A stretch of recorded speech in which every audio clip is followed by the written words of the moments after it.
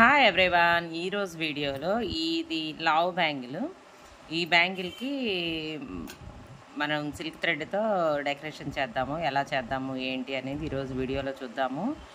ఇది నేను లా లాస్ట్ వీడియోలో ఫోర్ బ్యాంగిల్స్ చేశా కదా దాని మధ్యలో వేసుకోవడానికని కడా బ్యాంగిల్ చేద్దాము అని ప్రిపేర్ చేస్తున్నా. సో సిల్క్ థ్రెడ్ తీసుకొని వెడల్పు ఎక్కువగా ఉంటుంది కాబట్టి లైన్స్ కూడా మందంగా ఎక్కువగా పోయాలన్నమాట సో ఫిఫ్టీ లైన్స్ వేసాను వేసి ఇప్పుడు మనం దీన్ని గ్లూతో స్టిక్ చేసేటప్పుడు ఇలా కొంచెం వెడల్పుగా వచ్చేటట్టుగా రౌండ్గా కాకుండా ఇలా ఎడల్పుగా ఇలా వెడల్పుగా వచ్చేటట్టుగా మనము దీన్ని వేసుకోవాలి. క్రాస్గా అంటించాలి. ఇలా క్రాస్గా అంటించాలట. క్రాస్గా ఉంటే నీట్గా వస్తుంది.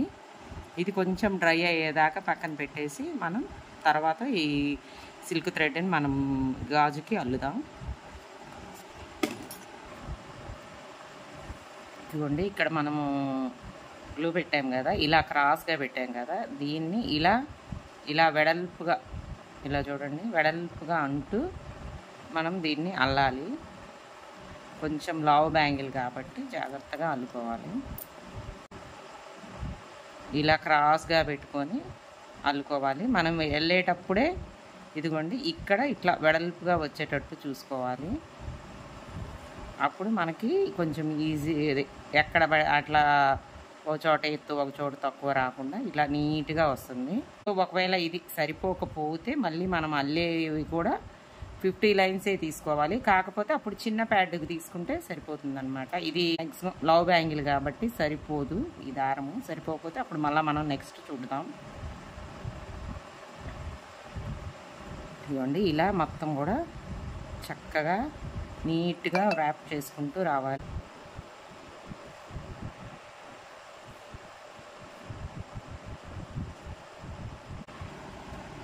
ఇదిగోండి ఇంతవరకు చుట్టాను అయిపోయింది థ్రెడ్ సో ఇదిగోండి మళ్ళీ లైన్స్ పోసాను ఫిఫ్టీ లైన్స్ మళ్ళీ పోసుకున్నాను.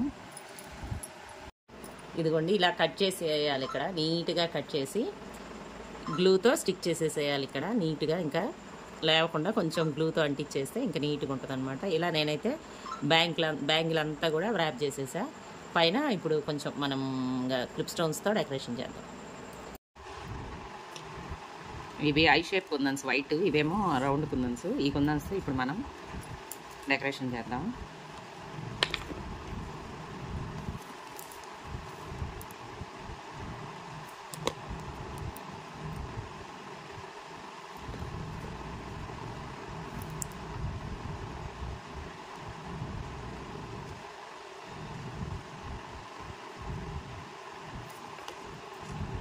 మధ్యలో రౌండ్ పెట్టేసి అటు ఇటు ఈ మొత్తం కూడా ఒక ఫ్లవర్ లాగా ఫామ్ చేయటం అనమాట ఫామ్ చేస్తే ఇంకా బాగుంటుంది.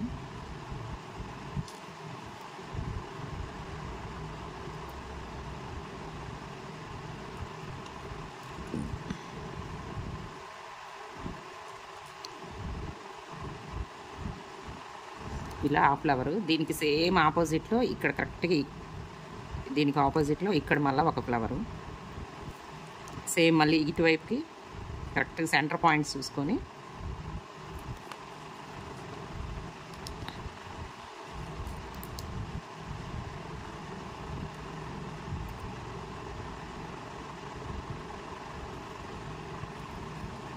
వీటికి కూడా మనం ఫ్లవర్స్ వేయటమే.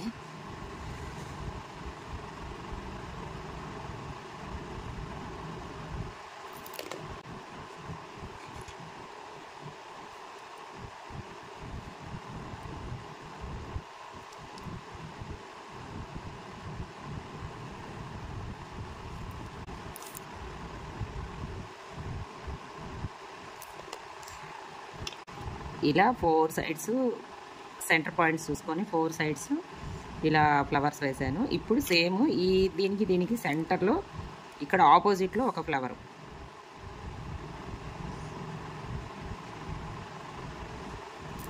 సేమ్ ఇంకా దానికి దానిలాగానే ఆ ఫ్లవరే సేమ్ ఆపోజిట్లో వేయటం.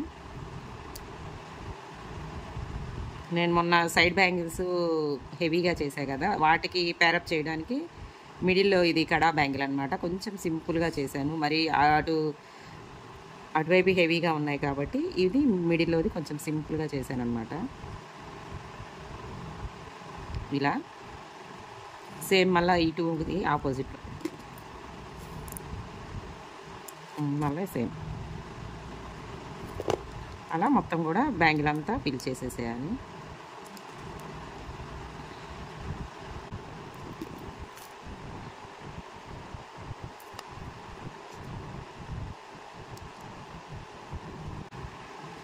ఇదిగోండి ఇలా బ్యాంగిల్ అంతా కూడా కంప్లీట్ చేశాను. ఒకటి ఇటువైపుకి ఒకటి ఇటువైపుకి. రివర్స్లో ఫ్లవర్స్ ఆ ఫ్లవర్స్ వేశాను అనమాట ఇలా నేనైతే బ్యాంగిల్ అంతా కూడా కంప్లీట్ చేశాను. సింపుల్గా చాలా బాగుంది. ఈ బ్యాంగిల్ని నేను లాస్ట్ టైం చేసిన బ్యాంగిల్స్తో పేరప్ చేస్తాను. ఎలా ఉంది ఏంటో చెప్పండి. ఇదిగోండి ఇలా వేసుకోవాలి అన్నట్టుగా నేను ఇలా పేరప్ చేశాను. అటు ఇటు హెవీగా ఉన్నాయి కదా ఈ బ్యాంగిల్స్. సో నేను మిడిల్లో ఉన్న బ్యాంగిల్స్ కొంచెం సింపుల్గా చేశాను చూడండి చాలా బాగున్నాయి. మనం ఈ కలర్ శారీ కట్టుకొని కాంబినేషన్గా మనం వేస్తే చాలా బాగుంటాయి. ఇలా అయితే నేను బ్యాంగిల్స్ ప్రిపేర్ చేశాను. వీడియో ఎలా ఉంది ఏంటి అనేది తప్పకుండా తెలియచేయండి. ఇలా అయినా వేసుకోవచ్చు. లేదా టూ బ్యాంగిల్స్ ఇలా టూ బ్యాంగిల్స్ అయినా ఇలా వేసుకోవచ్చు అన్నమాట. ఇలా నేనైతే బ్యాంగిల్స్ చక్కగా ప్రిపేర్ చేశాను. వీడియో ఎలా ఉంది ఏంటి అనేది తప్పకుండా తెలియజేయండి. వీడియో నచ్చినట్టయితే లైక్ చేయడం మర్చిపోవచ్చు థ్యాంక్ యూ ఫర్ వాచింగ్